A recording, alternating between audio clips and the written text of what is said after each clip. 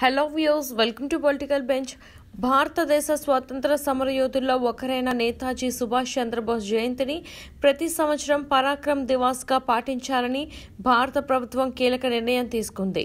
నేతాజీ స్ఫూర్తి దేశానికి ఆయన అందించిన నిస్వార్థ సేవలను ప్రతి ఏడాది గుర్తు చేసుకునేందుకు ఆయన జయంతిని పరాక్రమ్ దివాస్గా జరపాలని ప్రభుత్వం నిర్ణయించినట్లు కేంద్ర సాంస్కృతిక శాఖ మంగళవారం నాడు ఒక ప్రకటనలో తెలిపింది.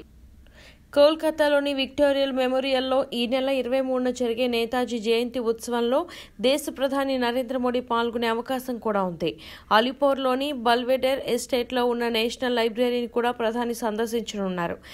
ప్రధాని నరేంద్ర మోడీ పశ్చిమ బెంగాల్ పర్యటనపై చర్చించేందుకు బెంగాల్ పోలీసులు ప్రధానికి రక్షణ కల్పిస్తున్న ఎస్పీజీ సోమవారం నాడు సమావేశమైనట్టు కూడా తెలుస్తోంది. విక్టోరియా మెమోరియల్ నేషనల్ లైబ్రరీ ఈవెంట్లను ఖరారు చేశారని చెబుతున్నారు. అయితే త్వరలో బెంగాల్ అసెంబ్లీ ఎన్నికలు జరగనున్న నేపథ్యంలో ఆ రాష్ట్ర బీజేపీ నేతలతో మోడీ సమావేశం కావచ్చని సమాచారం. ఇదిలా ఉంటే నేతాజీ సుభాష్ చంద్రబోస్ జయంతి సందర్భంగా పాదయాత్ర నిర్వహించనున్నట్లు పశ్చిమ బెంగాల్ సీఎం మమతా బెనర్జీ ఇప్పటికే ప్రకటించిన సంగతి తెలిసిందే.